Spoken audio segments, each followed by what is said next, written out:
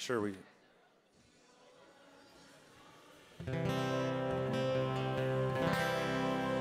Good morning, Mac U. I just want to welcome all you guys in here today. Today we have E squared with us. Can we just make them feel welcome this morning? I also just want to welcome in our uh, online audience today. It's great to have you guys here. Let's go ahead and stand this morning. Let's go into worship. Come on.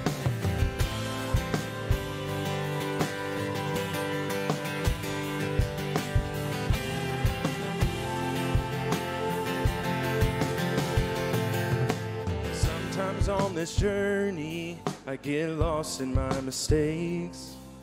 What looks to me like weakness is a canvas for your strength. And my story isn't over, my story's just begun. And failure won't define me, cause that's what my father does. Failure won't define me, cause that's what my father does.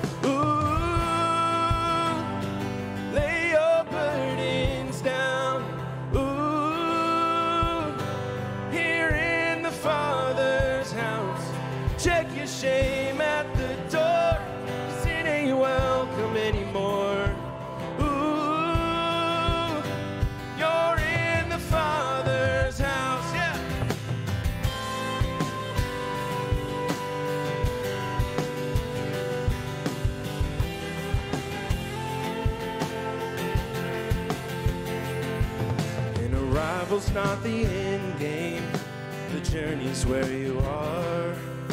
You never wanted perfect, you just wanted my heart. And the story isn't over if the story isn't good. Failure's never final when the Father's in the room. Yeah. Failure's never final when the Father's in the room.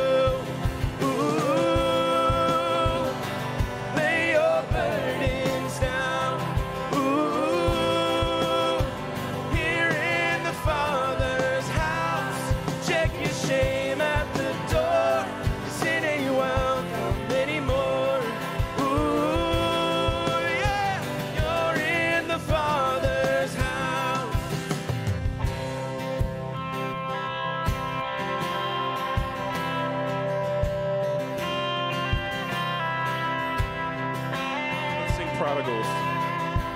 Prodigals come home, the helpless find hope. Singing love is on the move when the Father's in the room. Prison doors fling wide, the dead come to life. Singing love is on the move when the Father's in the room. Let's declare, come on. Miracles take place, the cynical find faith. The love is breaking through when the Father's in the room. Jericho walls are quaking, strongholds now are shaking.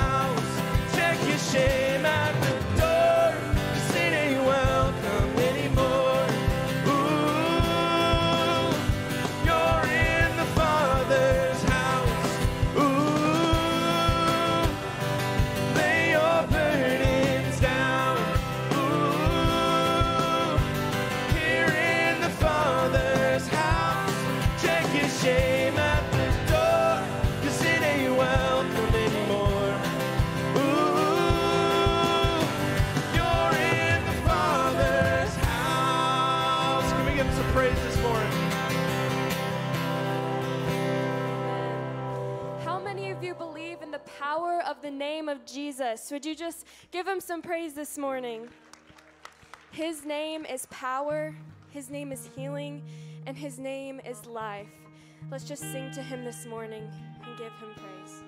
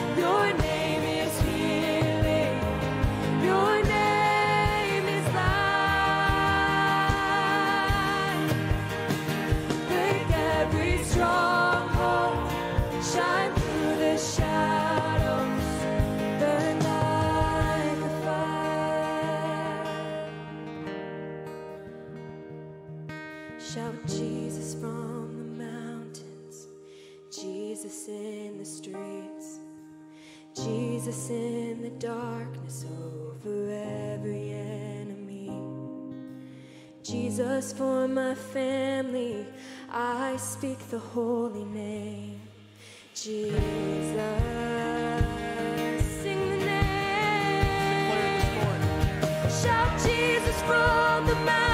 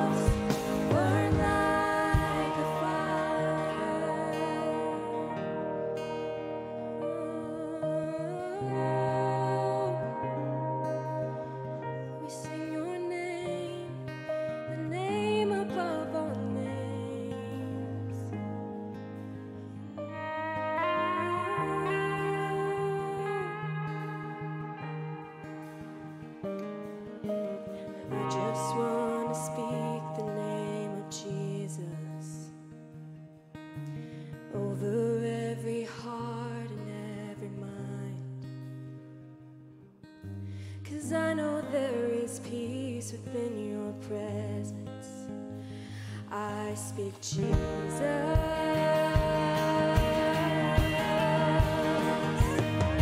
Show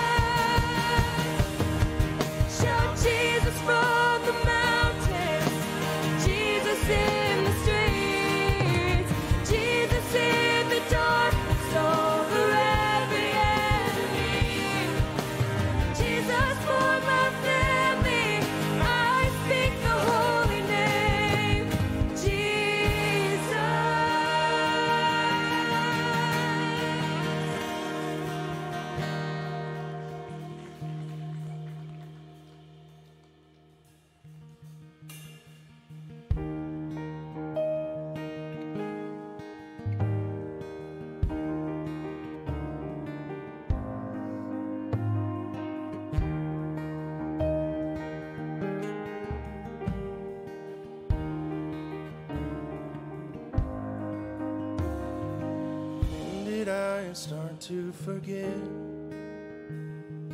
all of the great things you did. When did I throw away faith for the impossible?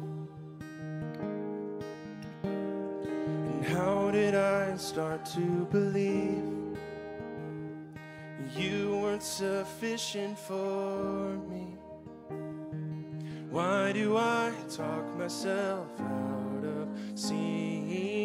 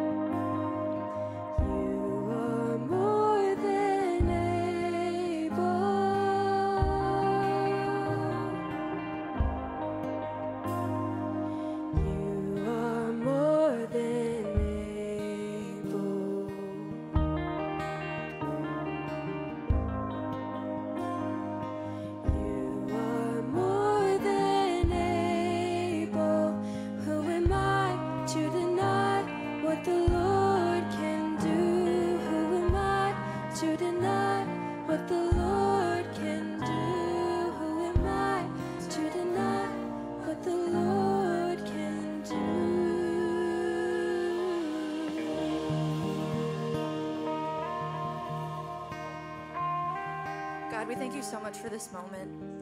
We thank you so much that we're able to gather here in your presence, Lord. God, I thank you so much for the students that are here. God, I just pray that they find their home here, Lord. I pray that they find everything that they've been looking for, whether it be in you or in a school, Lord. I just pray that you hold your hand over us as we finish out this this month, Lord, and just walk into new possibilities, God. Thank you so much for your son. It's in your precious name I pray. Amen. And good morning, evangels. It's great to see all of you here today, and I want to especially welcome those who are joining us online. And I want to take a special moment to welcome all of you who are prospective and incoming students. We're thrilled to have you here at MacU today. We look forward to having you as evangels. Let's welcome them again. Now, the people who know best about what it's like to be in MacU Evangel are sitting all around you, so I hope you'll take time to ask some questions of our students, our faculty, and our staff. But I just want to say welcome. We are thrilled to have you on campus today. I also want to encourage all of our students to fill out the student survey that came out in your email just a few days ago. That's an incredible opportunity for you to give input to the experience here at MacU in the classroom, in the cafe, on the, on the fields, and the courts. Uh, we want to hear from you, so take time to fill out your survey this week. And I hope to see you tonight at the basketball games. We've got a big night on campus, uh, both for our women and for our men. I hope to see you. We're going to have a great time and look forward to that. You know, every week in chapel, we try to bring in speakers who can help us to draw closer to God and who can inspire us to do great things. That's our vision here at MacU, preparing people to do great things for God and His kingdom. Today, I've invited a great friend of MacU, Dick Greenly, to come and tell us his story. He and his wife Terry own Pumps of Oklahoma. They deal with water drilling equipment and uh, supplies, and, and they're involved in all kinds of incredible projects here locally. But 20 years ago, Dick went on a mission trip and he felt the call of God upon his life to do something about the, the crisis of water in our world. God ultimately led him to form a, a group called Water4, and that group is truly transforming lives around the world. You're going to be inspired as you hear not only about water wells, but about how people are coming to Christ through this organization. This is the kind of thing that we are preparing students to do in the future. And I want Dick, Dick to come and share his heart and his story. So let's give a warm MacU welcome to Dick Greenly. Thank you so much for.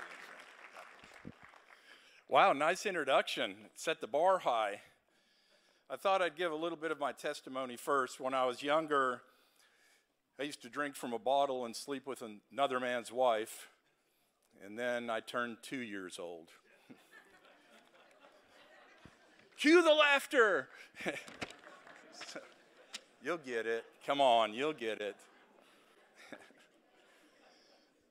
it's good to be back here. Thank you, President Phil. This is uh, it's fun to be here. I was on the board for several years a while back, and uh, MACU's always near and dear to my heart. Way to go, you guys. Coming here for a visit is the best. So, way to go. This is really great that you're here. I'm going to talk a little bit uh, this morning about three questions that um, one of my disciples, uh, Dr. Cliff Sanders, um, I've been working with him, trying to bring him along. Anyway, this is, I, I kind of ripped this off from him. Uh, th- three questions that are really imperative to know the answers to. And the earlier you get this, the better it is. So, what is God like? Uh, what's he like? When it comes down to it, isn't this kind of why you're at MACU? I'm know, sure sports and trying to get a degree, and maybe you didn't know what to do, so you just decided to enroll here. But deep down, all of us want to know what God's like, and this is a fantastic place to try to figure that out. So, what is God like? What does God want from me? What, what, does, God, what does God want from me? Um, that's a good one. And what should or what can I expect from Him? What can we expect from God? The answer to that one is goodness. He is good. So I'll, I'll, jump ahead. The answer to that one is goodness. That's what you can expect from Him. These fundamental questions have to be answered for followers of Jesus. These fundamental questions have to be answered in our life's journey. And as I mentioned, the sooner we can figure out these three questions, uh, the better it is for us. So in Ephesians, Paul talks about us being God's workmanship, God's handiwork, God's work of art, created in Christ Jesus to do good works, which he prepared in advance for us to do. He says in John, Jesus said in John 15, right at the end of his hours on earth, he said, It's to my Father's glory that you bear much fruit, showing yourselves to be my disciples. So, as we're going through these questions of what is God like and what does he want from me and what can I expect from him, these are some of the answers that we can find and study and, and, and meditate on of being God's work of art. What does it mean to be God's work of art? That's what you all are here today. His work of art created in Christ Jesus to do good works, which He prepared in advance for you to do. You could say He might know that this setting was going to happen sometime with us here, with you attending MACU, with you teaching here, with you being in the administration in this great organization, and for you all visiting, that He might have known that this was going to ha- to happen before you were even created. And he has really great things for us to do, and He wants us to do great things to show how good He is.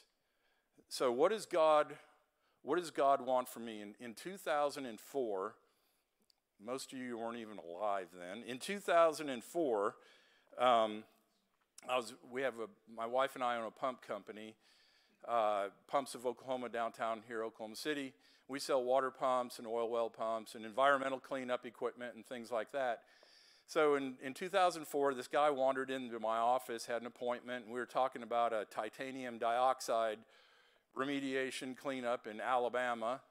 And um, we are talking about, okay, where, where's the equipment going to lie and what's it going to set and how's, what's the filtration, blah, blah, blah, all this. And I mean, it's not riveting, but he kept, he came on it like that, and we're talking about, okay, where are we going to set this equipment? What's the power supply? And I'm like, dude, am I keeping you up? What's going on? And he goes, well, I just got, I just got in from Taiwan, um, and I'm out of vacation time, so I just came straight here to this meeting. And I go, Taiwan, what were you doing in Taiwan? He goes, I was planting churches.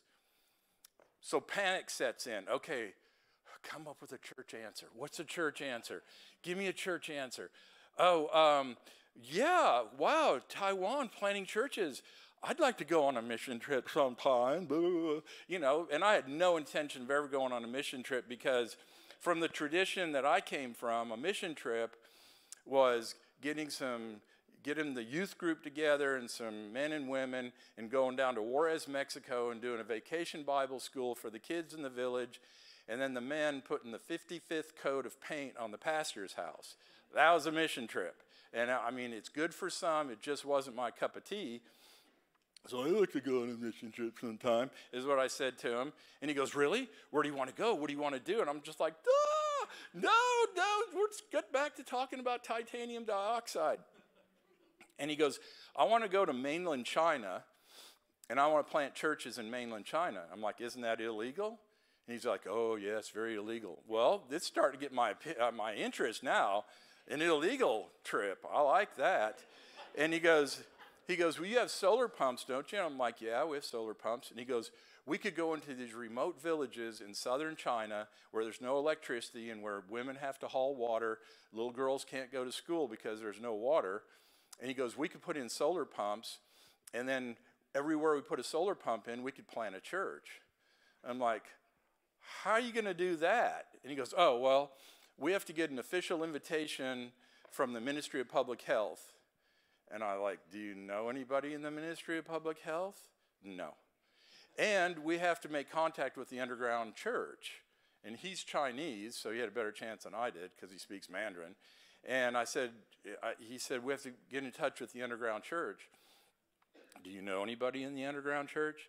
No. So inside, I'm going, yeah, baby, there's no way this is going to happen. 1.6 billion people in the, in the country of China, and he has to get in touch with, and get an invitation from the Ministry of Public Health. Well, three and a half months later, I wake up in a hut in southern China next to some pigs because they bring their livestock in at night. And I couldn't tell if I was snoring or the pigs were grunting, whatever it was. And we ended up going to southern China, getting an invitation from the Ministry of Public Health. Uh, of course, they wanted us to check in for our interviews. Back then, you had to go for interviews if you went into the country of China and be uh, interviewed by public security, and our rooms were bugged, all that stuff, um, because we're Westerners. And of course, we show up three days early so we could get a head start on some of our church planning stuff. And I'm like, dude, are, are we going to get in trouble? He goes, well, if we get caught, it won't be good for us. But okay, let's raise. So after 35 hours of travel getting over there, uh, we end up in a, in a remote village from one of the underground church members. And the first thing that we do is, is we, get to, we get to tell the chief of the village who we were staying with about Jesus, and his whole household came to know Jesus that night. It was amazing. It was all in Mandarin. The Holy Spirit is universal in language. Uh, I could tell exactly what was going on in between my nodding off from the 35 hours of travel. But uh, uh, it was absolutely amazing. We check in with the Ministry of Public Health and the Public Security on that next Monday. We ended up, we ended up uh, three trips to China. We, every place we'd ship solar pumps over, every place we put a solar pump in, every place the entire village came to Christ. The entire village came to Christ. I've never seen anything like that in my life. And so something was stirring. And my wife and I, because I mean, we just bought this business, so we were way in debt. And she's like, So you're going on illegal, or you could get put in jail. I'm like, I don't think they'll keep me. I'm not a keeper. I think they'd send me away back to America. And uh, so we're like, this is really, I mean, every place we put a solar pump in, we could do this the rest of our careers, is just put solar pumps in and lead people to Jesus this is amazing. I get to do the fun part, which is put in solar pumps because I'm not that good at Mandarin.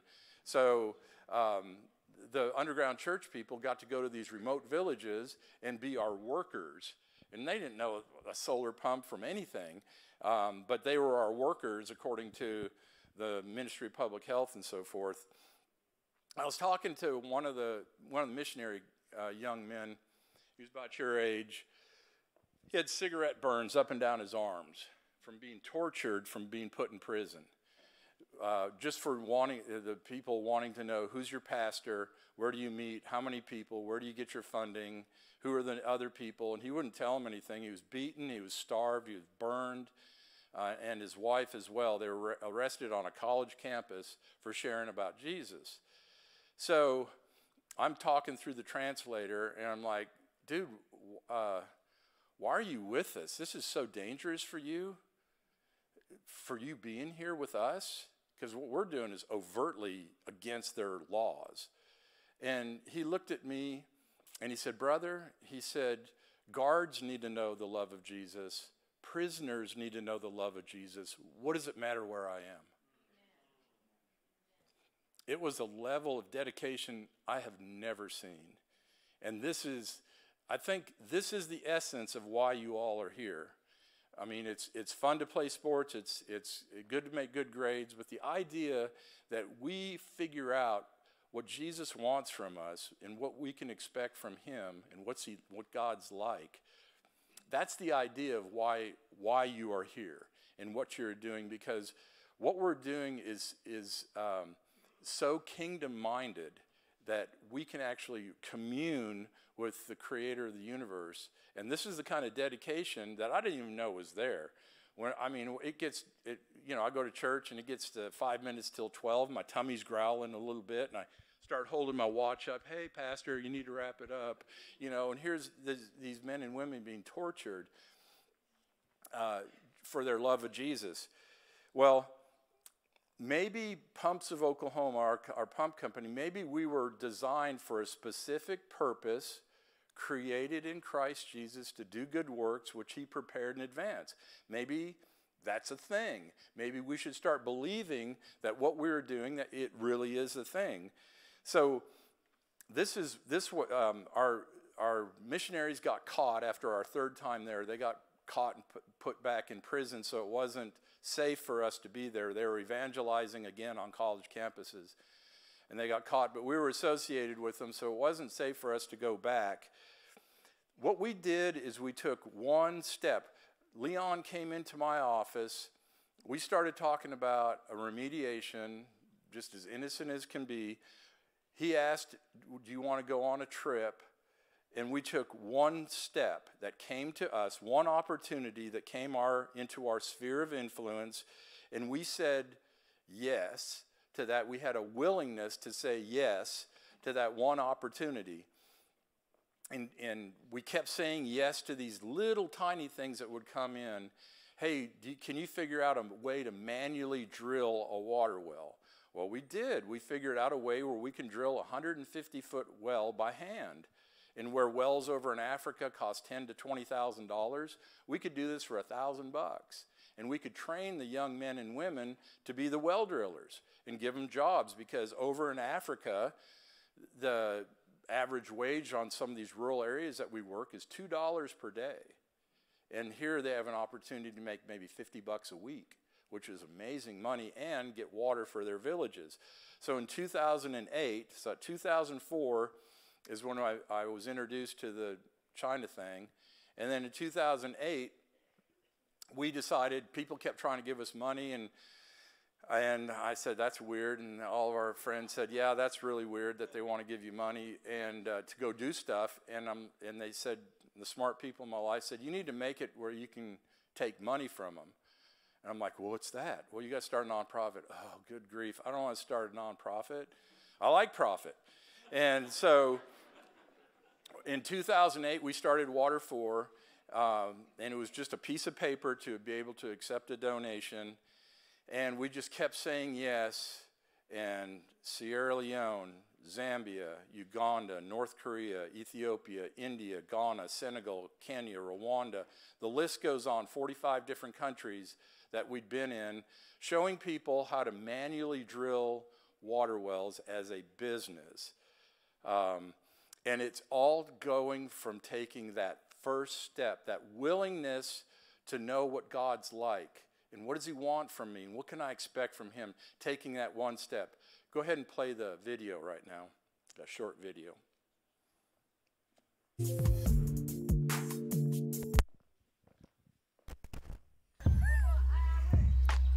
Potential.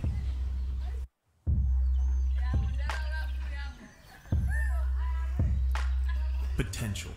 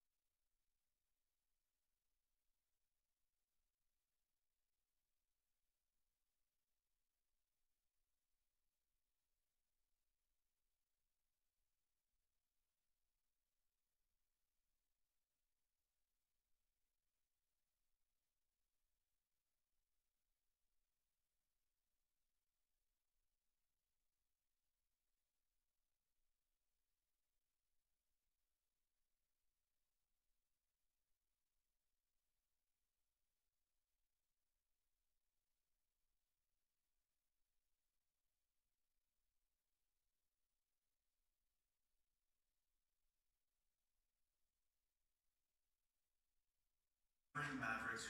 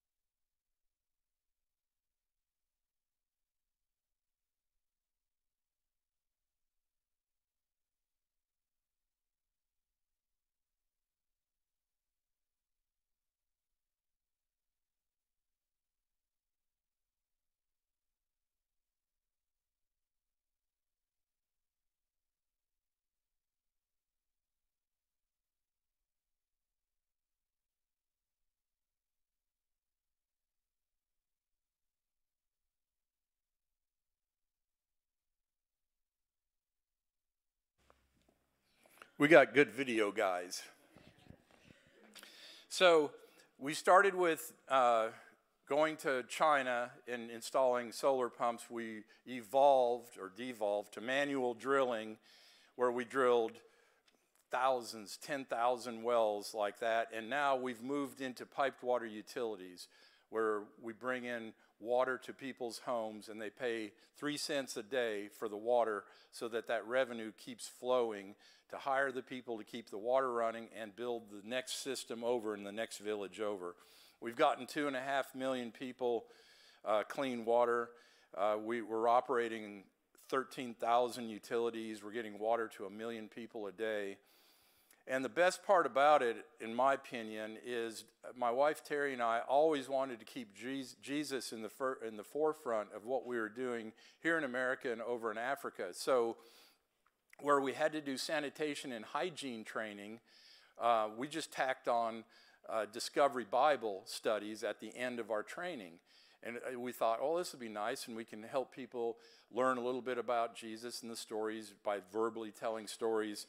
And it has taken off like we can't imagine. To, uh, this week, we had 20,000 in our Bible, uh, we had 20,000 Bible studies, had about 300,000 weekly meeting in our Bible studies. And it's growing to the point where we can't keep track of how many these are doing. This is all from saying yes one time to a guy coming into my office, one time in the, in the normal everyday occurrence of how life works. And, and maybe that's how we can get an idea of how God does work in our lives around the everyday occurrences of what are, what are around us. So, what does God expect from you? You've been given this incredible gift of this great college education. Where I go, there's nothing like this in these remote villages and so forth. And you guys have been given this remarkable gift. So, what do you do with that gift? You all have to kick butt and take names, is what you need to do. You need to be the best student that's out there. You need to learn from these godly leaders that have been put in your life and this great administration that runs this college, you need to be the best at what you're doing. Be the best teammate. You all have two games tonight. You be the best teammate. You always have your teammates' backs, always. Uh, you leave it all out on the field. Whenever you walk onto the practice field, whenever you walk on to the court, you leave it all out there. You've heard the saying, practice makes perfect. That ain't right. Perfect practice makes perfect. And that's every time you walk out on the court, every time you walk out on the field, you leave it all out there. So that when an opportunity does come to, to do something extraordinary, and it will, when, the, when these opportunities do come to have a Jesus effect in somebody's life, you're going to be able to say yes. So, um, wh- what, what, is, what does Jesus uh, expect from me? Seeking Jesus in all circumstances is probably the, probably the most important thing that you can take away from this, especially when you mess up. My, my, I have a 19 year old brain in here. I have a college brain in an old man's body. And I know about messing up. So, what, what's the, what is the first thing that we do when we sin, when we mess up? We want to, we want to step away from God. And that's exact opposite of what we should be doing. We should be running towards God and confessing when we mess up. Uh, John writes, in 1 John, My little children, I'm writing these things so that you may not sin, but if anyone does sin, we have an advocate with the Father, Jesus Christ the righteous. He's the propitiation for our sins, and not only for ours, but for the sins of the whole world. And by this we know that we've come to know him if we keep our commandments. And then there's a passage in Hebrews chapter 7 that says, Consequently, he is able to uh, save to the uttermost those who draw near to God through him, since he always lives to make intercession for them. God is always living to make intercession for us. He knows we're going to mess up. So don't run from God when you do. Run to God when you do. And you will mess up. Let's try not to, but you are going to mess up. 19 year old Dick Greenly's always messing up. And what, what I've learned is God made provision for that. So so stay close to God. Don't shy away when you goof up. That's what he's expecting from us. That's what he wants from us is this constant communion with him. And do the things that are in your life right now. Don't be looking don't be always looking over the horizon for when I finally get there. Don't be looking to that. Always well, when this happens, then I'll be there. When this happens, then I'll be there do the things in your life right now, do them with excellence, do them with energy, do them with joy. And you'll look up one day to the applause of Holy Jesus. And that, I think that's the highest aspiration that we can look for, is to look up one day to the applause of Holy Jesus, and that is what he expects from us. I really appreciate being here this morning. Um, you guys keep doing good. You're just you have such a great opportunity. Um, so just keep Jesus close to you in everything that you do. Jesus, be with us right now. We love you and we praise you. Holy God, speak to us in the way that you always do. And in your holy name we pray. Amen. You're dismissed.